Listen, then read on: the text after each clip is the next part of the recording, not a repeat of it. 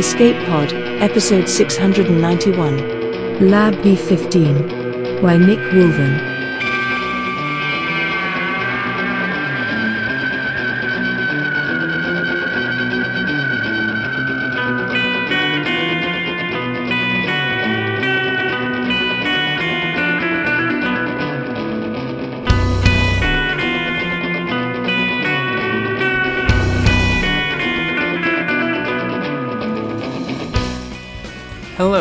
Welcome to Escape Pod, your weekly science fiction podcast. I'm Benjamin C. Kinney, your host for this episode. Before we get into this week's story, I want to take a moment to thank you all for listening, downloading, and sharing Escape Pod. Like the other Escape Artist podcasts, we are 100% donation driven, and that means we need your support. Escape Pod is a professional paying market for authors of short fiction. Recently, the Science Fiction Writers of America have increased the pay rate that defines professional, and we believe authors deserve that raise. Without writers, we wouldn't have great stories to share with you every week. So please, if you can, support us on Patreon, where we're listed as EA Podcasts, one word, or donate via PayPal on our website, escapepod.org. If you can't afford to donate right now, you can help us by spreading the word on the social media of your chosen flavor and also by rating and reviewing us on Apple Podcasts, Spotify, or whatever service brings you our signal. We appreciate all your support, whatever the form. Our story this week is the first half of a two parter Lab B15 by Nick Wolven, narrated by Trendane Sparks. It was first published in Analog Magazine, March 2018. Nick Wolven's science fiction has appeared in magazines and anthologies around the world. Originally born in Texas, Trendane Sparks eventually escaped and wound his way through a mystical series of jobs in the San Francisco Bay Area, where he's worked as a software QA tester for both graphics drivers and video games, a freelance mascot performer, and several jobs on a PBS Kids show. For most of his life, people have told him that his voice is a pleasure to listen to. But since being a werewolf phone sex operator can get boring, he decided to use his powers to entertain a broader audience. Now, get ready for another uneventful day in the lab, because it's story time.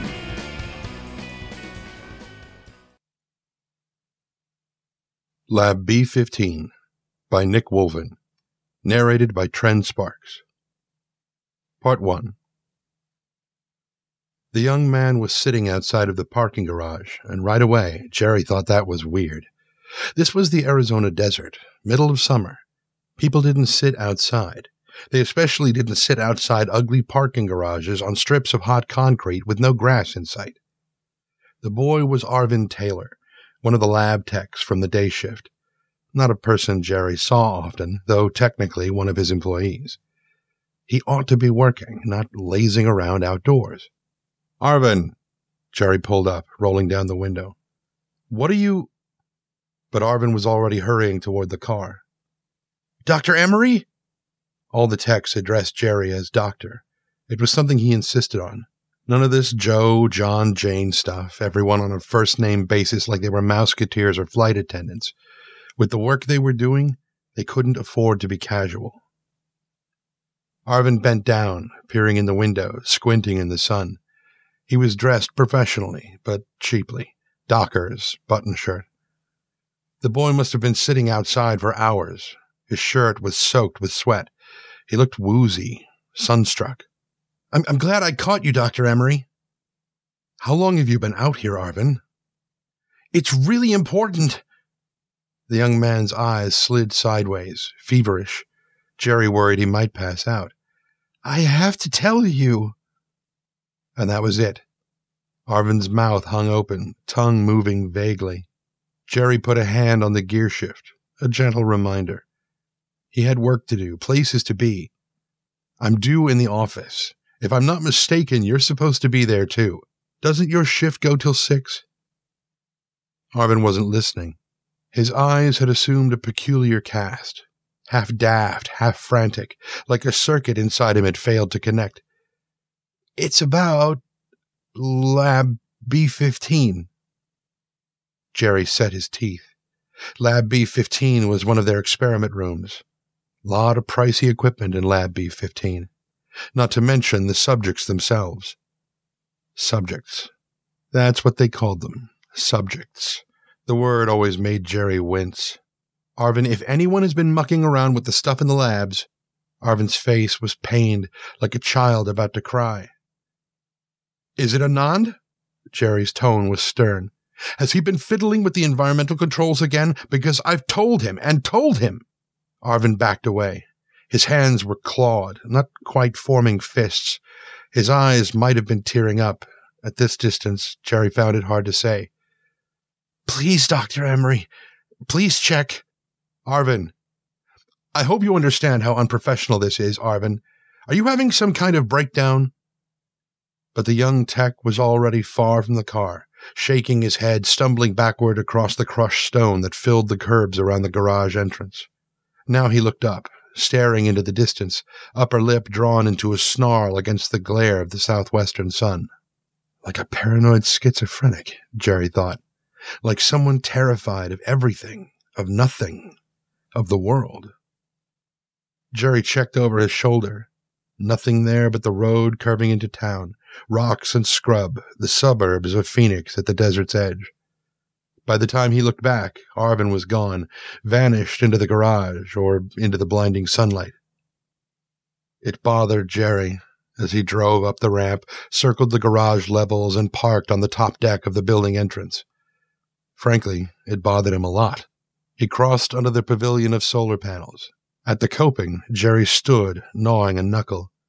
Below were the arabesques of housing parks, roads curling into cul-de-sacs lined with mini mansions. The highway ran out into the desert, ending here at a low hill rising from a sea of solar farms. Atop stood a glittering cluster of glass buildings. The Baxter Clade Medical Center was funded with big donor money. It focused, consequently, on big donor interests late life therapies, anti aging boondoggles, artificial organs, a sampler platter of rare cancers. The center was ostentatiously ego friendly. Most of it lay below ground for better temperature regulation. That was where the riskier institutes were located. Research teams toiled on top dollar projects, out of sight, literally underground, flush with tech guru cash. The thing about rich donors was that they lived a long time. As a result, they tended to develop rare ailments. They also fell prey to freakish obsessions. Baxter Clade catered to both. One of the labs on Jerry's floor was working on treatments for Gorham Stout disease, or, as it was evocatively called, vanishing bone disease, an affliction with only a few hundred reported cases. It was poorly understood. One of those cases, however, was the son of a hedge fund manager. Hence, research proceeded apace. Another group did blood rejuvenation, cloning cells from youthful donors. There were teams working on weird voodoo with DNA, stuff Jerry didn't understand. Then there was the cryo team. They got all the press. Rich folks who came to the clinic saw little of this work. They stopped in for their transfusions, their biopsies, their nouveau frou-frou therapies. Receptionists guided them to the upper floors with big windows and attractive rock gardens. They didn't see what went on in the basement. The teams of researchers on their three sublevels, the doors labeled with names like Intrans, Telemetric Initiatives, and the Morgenstern Institute for Advanced Longevity. It was all a big warren of bare walls and offices. Rooms were labeled by number. Office A7, Kitchenette K1, Lab B15. Jerry turned to the building. When the Institute first headhunted him, they had offered a generous package, attractive benefits, a salary double what he was making at the university. Perks such as only Baxter Clade could provide. That wasn't what had lured him out here to this desert bunker. Jerry came to escape, from academia, from his course load, from campus politics, from faculty squabbles, drawn by a chance to work alone, away from humans, their drama, their demands. He had fled out here to the wilderness. He had done it, at bottom, to get away from small talk. Jerry kept an eye out for Arvin as he crossed the garage. It bothered Jerry when people acted strangely, when they showed excessive emotion, flirted, joked, gossiped, bantered. When they panicked. Hell, it bothered Jerry when people did anything.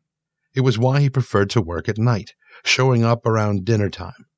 He saw his assistants in the evening, in the morning. He gave them their instructions. He expected them to comply. No back talk that way. Nice and simple.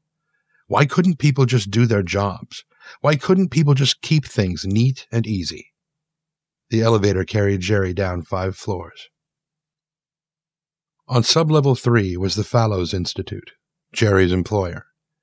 He brought his coffee to the administrative office, where he pulled up the intranet and checked the logs. Nothing. Jerry ran through camera feeds, checking every room, paying special attention to the labs. Nothing. He took the control for Lab B15 and made the camera scan the whole room, whir, whir, rotating on its mount. He couldn't see into every cupboard, but he saw enough. Nothing there. Jerry pulled up one of the surveillance AIs, a little program that scanned video footage for anomalies. He ran it on the camera feeds. Nothing. Jerry ran through the feeds himself, 17 hours of stored footage, skimming for anything that looked weird. The thing was, they didn't even use Lab B15. At all times, they kept one lab idle. It was a planned redundancy, given the nature of their research. And Jerry found nothing. Absolutely nothing. No one going in or out, no rattling machines, no smoking centrifuges. No one had even turned on the lights. The whole show played out in grainy infrared. Pointless. Ridiculous. Nothing to see. No spooks or poltergeists, that was sure. Jerry ran the day's reports, along with punch card entries and ID checks. He reviewed computer logins, door access checks, front gate checks, parking space scans, equipment usage. No one had entered Lab B15. No one had used the equipment. No one had taken anything from the shelves. Every item in there had a radio tag, and they were all logged and inventoried in their proper places. The place was a crypt, deathly still. Deathly. That got Jerry thinking. He made himself do it. He pulled up the camera feeds again, and he checked the freezer room.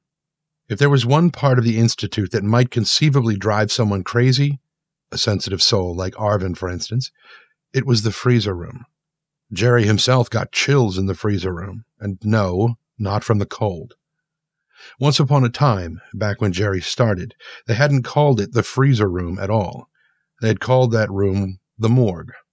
The name hadn't stuck. It was too descriptive, too vivid, too, well, accurate. They settled on a different name, one that got the point across with minimal morbidity. Freezers. That did the trick. So Jerry checked the logs for the freezer room. The freezers were fine. What the hell was Arvin talking about?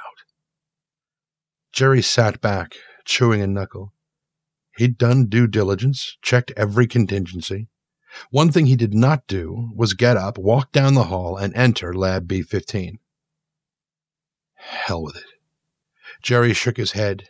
He'd already wasted enough time with this non issue. Arvin was having some kind of breakdown, that was all. What the younger staff called a moment. People did this all the time. They had moments, giving in to unreasonable emotions. It drove Jerry nuts. On a whim, he ran a check on Arvin's movements. Nothing unusual. It was a typical day. In at eight, on the dot. Out for lunch at one o'clock sharp back at two, again, on the dot. Except for the stint in the parking garage, the young man had spent all day at his station. Jerry looked again at those numbers. Eight o'clock sharp, one o'clock sharp, two o'clock sharp. Everything was exact to the second. Were those numbers, maybe, a little too typical? Stop. No point getting fanciful. Jerry actually laughed at himself snapping off the screen, and Jerry Emery rarely laughed. This was crazy. Arvin's hysteria had infected him too. Eight sharp, two sharp. It wasn't so unusual. It was how things should be punctual, orderly, a nice average day. Jerry had run the numbers. He'd checked the logs. He had work to do. He closed the program. In the Institute, the day shift was winding down. Machinery hummed in Lab B11. The S&D machine was running a scan. Jerry found it a soothing sound. It would go on for months, night and day, with only intermittent breaks to cool the equipment, like a refrigerator running, a comforting drone. Kim Novak, the head biologist, was bent over the optical dissector, lasering away at a cart of tissue samples. Kim was the opposite of Arvin, a no nonsense type, crisp and obsessive when it came to sample collection. A bit of a slob with respect to appearance, but her work was unimpeachable. Jerry thought of saying hi, but why bother? They'd make awkward small talk, they'd both be put out. Better to get to work. His office beckoned, a nest of ragged paper. Printouts were sticky tacked to the wall, hanging at angles, covering more printouts, all scrawled with equations running sheet to sheet. Figures had been crossed out dozens of times, blurred under blizzards of recalculation. Lately, Jerry had abandoned math in favor of cryptic conjectures, scrawled in marker. Reduce optimization of synaptic updates? Try zero batching of nodal spike selections. Apply forced stimulation, all inactive circuits. Recent additions were little more than desperate outburst. Enough models. Startup matters? More flops. It was the literalization of a brainstorm. Jerry shuffled through the litter. Everything important was done in the computer, but when Jerry was frustrated, he printed, he scribbled. If nothing else, it gave him the satisfaction of crumpling up his failed ideas. He certainly had been doing a lot of that. Plunking himself down, Jerry ran the week's reports. Subject Arnesev's run in the Valet environment had undergone critical degradation across all clusters. Subject Yamamoto's run had catastrophically failed after 27 seconds. Subject Polodny's run in the new Veritude Simd performed successfully for almost seven minutes, with a slowdown factor close to zero, rich dynamic performance across functional mini-columns, and interactions with the chemical perfusion model that matched observations on organic subjects. Great! But at 400 seconds, even this last model had undergone calamitous disintegration, fragmenting into disconnected circuits that pulsed and strobed like schizoid Christmas lights, convulsing into seizures of disconnected stars. On and on it went. Crashed programs, busted experiments. Jerry cursed and chewed a knuckle. The numbers changed from trial to trial, but the basic problem was always the same. They had a name for it in the office the spasming issue, mechanical mouse, the jitters. Subject 1's gone mechanical mouse. Subject 7's caught the jitters. Jerry called it what it was brain death. Jerry? It was Kim, her glasses askew, leaning into his office. Weird. Jerry could have sworn he'd closed the door. But there Kim was, standing in his riot of papers. I'm off for the night. We're almost finished with the supplemental scans on Bogstrand. Once we've built out the diffusion effects, I'll feed them into the signaling simulator. We can have full volumetric analysis by Friday, I think. Jerry spoke around the knuckle lodged in his teeth. Thanks, Kim. Five seconds later, he realized she was still there, fingers curled over the jam, eyes distracted under her steel colored hair. You'll be okay here by yourself? Kim sounded worried. Chris is off for the night. Marjorie just left. I sent Arvin home. Jerry looked over the top of his monitor. What happened with Arvin anyway? I, I saw him outside by the garage. He seemed distressed. Kim's face contracted, lips parting, brows contracting. Not worried, Jerry thought. Puzzled. A rare emotion for Kim Novak, but that was how she looked right now utterly baffled, as if a peculiar and upsetting thought had come to her unbidden. You know, Kim said, faltering, you really should. You should look into Lab B 15. Her eyes were like Arvin's, half dreaming and feverish. Jerry narrowed his eyes. And why is that, Kim? Kim bit her lip. I just think you should do it, that's all. I really think you should check it out. Jerry stood slowly, coming around the desk. He studied Kim before speaking. Arvin said the same thing, that I should check Lab B 15. Kim said nothing, only stared, goggle eyed, Jerry continued. I reviewed the security files. I checked the footage myself. I didn't see anything.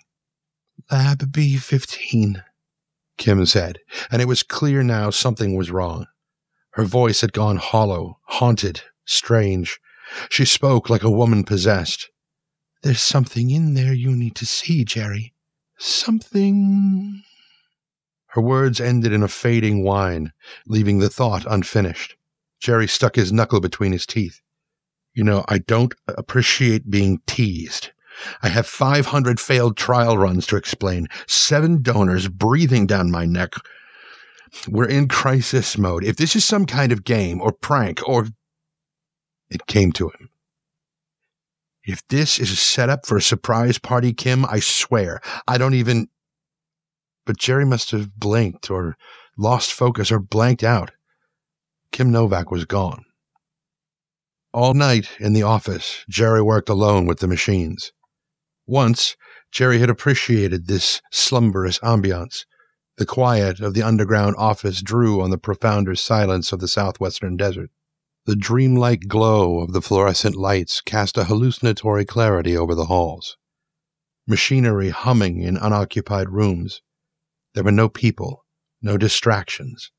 It comforted Jerry to pace in these clean, dark corridors, with nothing to keep him company but computers. It gave him time to think. But all he could think about now was failure. Fifteen years, 27 subjects, so many hopeful trial runs. They'd been cocky at first.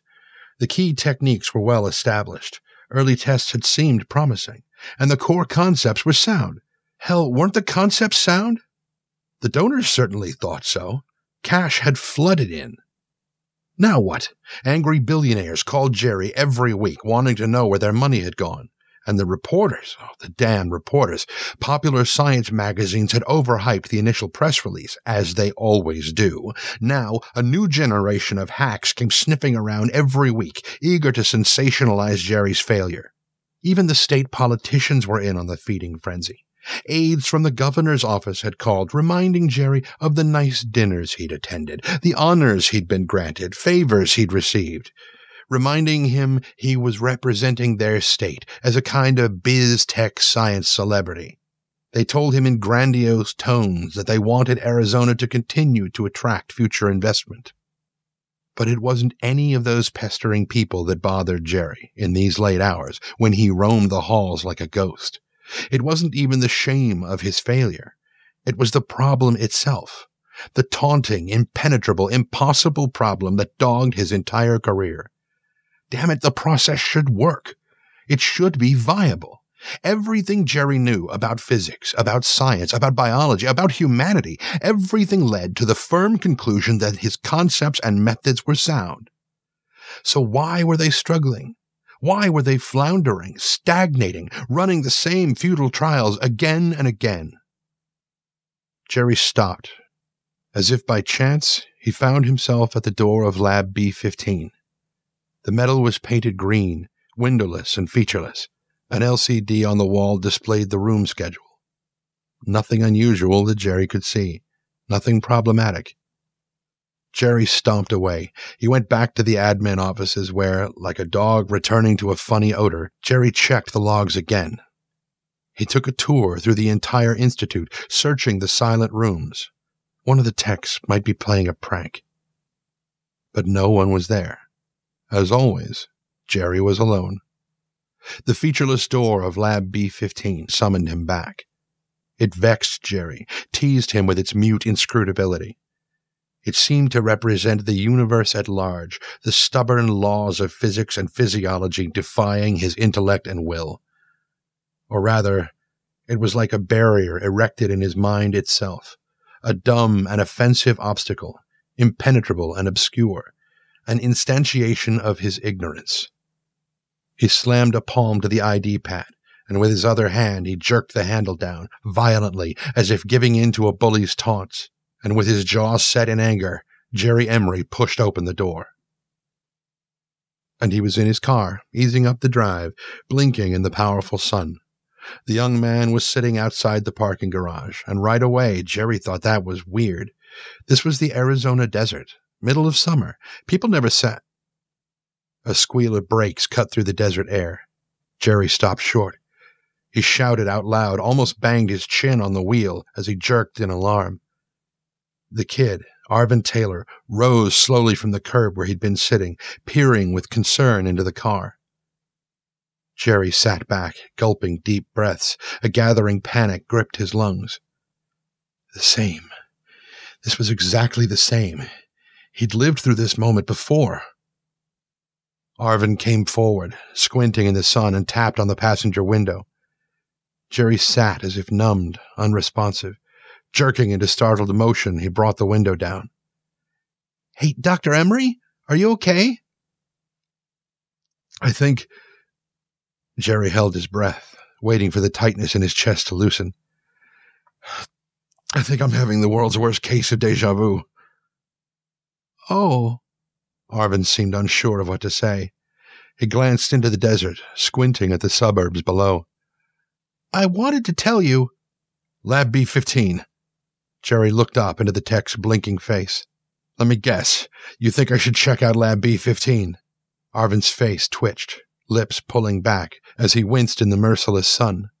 He pawed at the back of his neck, self conscious. Uh, th- that's right. It, it wouldn't take long, but I really think you should take a look inside. And find what, Arvin? What's in the lab? Another spasm contorted Arvin's face. Confusion mingled with compulsion, as if Arvin were a machine programmed to obey two forceful but conflicting imperatives. Lab B15, he said falteringly. Shaking his head, Jerry drove by, leaving the young man blinking on the curb. When, after a moment, Jerry checked his mirror, Arvin had disappeared. With the intensifying quiver of terror in his chest, Jerry drove up the levels of the parking garage, locked his car, and ran to the coping wall. The desert, the solar farms, the town, all spread out below, the acres of solar panels in black, neat rows, and the curling arabesques of streets with their identical houses on neat square lots. Everything ordinary, orderly, but wrong. Yes, it was true. Something in the scene, the layout of the houses, the grids of the solar farm, the desert itself, something was undoubtedly, ineffably wrong. Jerry bit his knuckle, feeling the sweat burst out on his brow. Underground, in the Institute, Kim Novak sat at her optical scanner, zapping away at her batch of slides. Tissue samples, sliced ultra thin, vanished into a fat red box, where the angled beam of a pulsing laser kicked them whiff by whiff into a centrifuge. Jerry hovered in the doorway, listening to the muted churn of the nearby S&D machine. Everything was ordinary, typical, a humdrum afternoon at the lab. After he lingered in the door for a moment, Kim turned and pushed up her glasses. Hey, Jerry. Something wrong? Jerry backed away, rocking on his derby shoe heels. You know, Kim said, as long as you're here, I wanted to tell you. Lab B15? Lab B15, Jerry echoed shrilly, hearing the hysteria rise in his voice. He pushed away and ran down the hall. Jerry stumbled to a halt at the door of Lab B15. The LCD inset was a colorful blur, smeared by the fear that distorted Jerry's eyes. Jerry's head was such a whirl that he had to stare for three seconds, forcing the display to resolve into clarity. Already he knew what it would say. Nothing unusual, nothing out of sorts. Everything typical, everything ordinary, orderly, and exact as a chessboard. Jerry placed his palm on the scanner, listening for the beep, and gripped the handle and pushed down. As the latch clicked open, Jerry stopped. Wait, no, not like this. Take a deep breath. There. Good. Another. Hold it. Now, step back. Pause. Collect yourself. Think this through. Jerry turned, smoothing his shirt with unsteady hands. He walked back down the hall. Kim, at the end, was leaning out of Lab B11. Jerry, what in the world are you? Lab B15, Jerry said, cutting her short. Kim, what exactly did you want to tell me? Kim narrowed one eye, glasses askew, as she angled her head to indicate puzzlement. She seemed at once defensive and perplexed. Well, I guess just to take a look inside, that's all. At what? At what, Kim? What's going on? The chief biologist's eyes blinked rapidly. Her attention slid away, back to the optical scanner, the waiting stack of unfinished work. You know, I should get back to these chemical assays. I think if I finish with the Bogstrand inputs, we can have volumetric analysis by Friday morning. Jerry grabbed her wrist. Lab B15, Kim. What's going on in Lab B15? Kim's eyes were wide, flicking through alarm, fear, disbelief, settling at last on irritation as she glanced at the hand he had clamped around her wrist. Jerry, she said sternly. He let go, struggling to calm himself, gulping air until his chest felt swollen, his heart like a piston driving hard. His head became a buzzing blank of confusion. He couldn't breathe enough to think clearly, couldn't find the oxygen. So, sorry, he was mumbling. I just, you know how I am. I, I like things to be clear. I, I don't like drama. I know how you are, Jerry. It, it bugs me when things are. He gave up. Never mind. So you wanted me to check out Lab B15? I really think it would be a good idea. Jerry surrendered. He let Kim return to her work. He paced the hall, panting. Deep breaths, he told himself. Hold them in. Deja vu. Isn't that what he'd said to Arvin? It could be nothing more than a particularly inflamed case of deja vu. But no, Jerry knew it was more. He paused outside his office.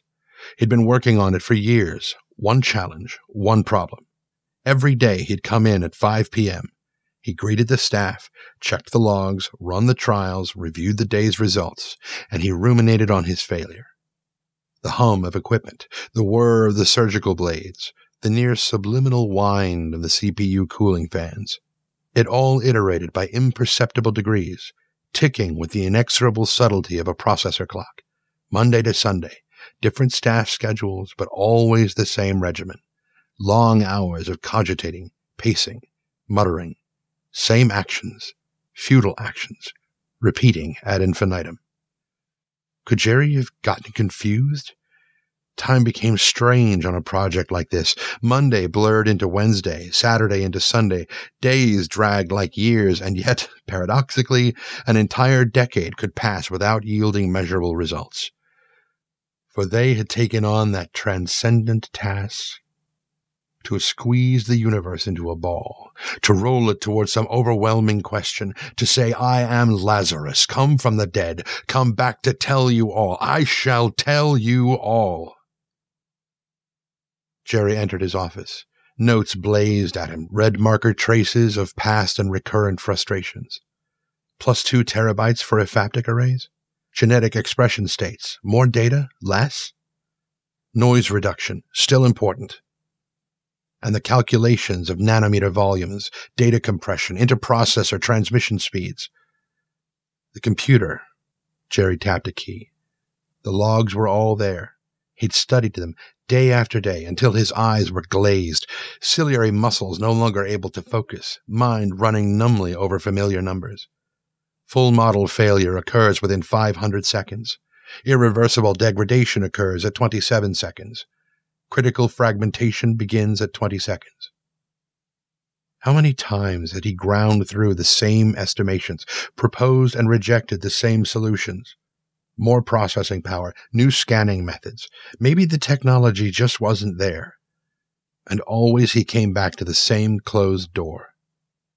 Jerry left the computer and stood in the hall. Years of cudgeling his brain and yielding nothing. Cudgeling. How apt, that old cliche. Jerry felt beaten, breathless. People always told him he worked too hard. On a hopeless whim, he moved down the hall to the unforthcoming door with its LCD screen, its mocking green placard. Lab B15. Jerry pressed the scanner. He flung the door open. He passed through. And he was back in his car, pulling up to the parking garage, eyes already shifting by reflex to the young man who would be sitting there, waiting on the curb. Dr. Emery? No, no, no. Dr. Emery, what's wrong? Jerry pushed aside papers, rubbed his eyes, and held his throbbing head. He stretched out a nerveless hand, tapped his computer. And for the thousandth time, he brought up the test results. Concentrate, Jerry told himself. He had to think this through. Jerry sat in his office, wallowing in the somnolence of the midnight hush. He had run through the time loop five more times before accepting it as a new feature of his reality. Every time he passed through the door of Lab B15, the course of time reset. The night began again. That had been empirically verified. It was, from his limited and subjective point of view, a demonstrated fact. With this established, Jerry had settled here in his office with his notes and records, locking the door and holing up in a secure and contemplative privacy. Jerry was a scientist. His strength, his weakness, and his signature trait was a lifelong penchant for methodical thinking. Even in a state of panic, and what situation better justified a state of panic, Jerry would do what he did best. He would pause and reason. He would work this out he would, at the very least, form a hypothesis. So when Arvin made to address him, Jerry shrugged the boy off. He had ignored everyone who tried to accost him. He had come straight to his office and turned on his computer and forced himself to concentrate as best he could. And he might, just might, have found an answer. Jerry trained his weary eyes on the test results. For the millionth time, he ran the numbers. He flipped to the imager with the lazy precision of habit, Jerry ran recorded trials at different speeds, differing resolutions, viewing the results from different angles. In the data visualization schematics of the imager, observations played out like abstract art, branching bolts of color-coded lightning. Glimmers on water, Jerry thought, streaks of reflected light, shimmering traceries, cycling and swirling. Cycling. Repeating. Jerry sat back, light-headed. It couldn't be true. But was it? He pushed back his chair, shuffling through his piles of papers. Images flurried in Jerry's frightened brain, curling patterns of housing parks, noted in red marker, eccentric traceries. A tightening in his chest. What was it Henri Poincaré had said? The famous mathematician, in an anecdote often recounted, had been mulling over a math problem, contemplating key concepts without ever arriving at a result. And then, one day, he had put aside his work, gone for a walk, stepped onto a bus, and a brilliant discovery had come to him in a flash of unexpected insight. It was as if the answer had been there all along, waiting, buried like hidden treasure, somewhere in Poincaré's subterranean mind. Jerry pushed open his office door. Stumbling down the hall, he saw that everything was still hushed, vague, muted, unreal. Machines hummed softly. This was the only sound he heard. If Jerry's conjecture was right, he didn't have long. A few more cycles, a few spins of the wheel, a few more ticks of the cosmic clock. Jerry checked the rooms. Silence. The other employees had gone home for the night. Jerry knew exactly how to summon them back.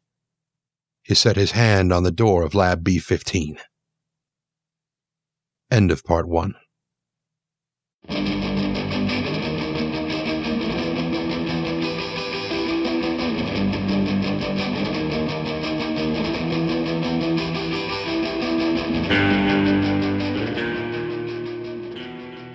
And that's the first half of our story. The research participants are crashing. The world is repeating. Jerry has, at last, a hypothesis about the secret of Lab B15. Come back next week to find out if he's right and what he can do about it. We'd like to give a special shout out this week to listener Sarah Meierotto, who has given us the highest honor possible for a work of science fiction, a new species named after us, all of us here in Escape Pod are excited to embrace our new friend Xylomorpha effugia, a parasitoid wasp from Costa Rica. We're told the taxonomic methods are controversial, but we here in Escape Pod always love a good scientific controversy. Escape Pod is a production of Escape Artists Incorporated and is brought to you with a Creative Commons Attribution Non Commercial No Derivatives license. Don't change it, don't sell it, do go forth and share it. Our opening and closing music is by Dai Kaiju at daikaiju.org. And our closing quotation this week is from Bill Murray's character in the 1993 movie Groundhog Day. What if there is no tomorrow? There wasn't one today. Thanks for listening, and fly safe out there.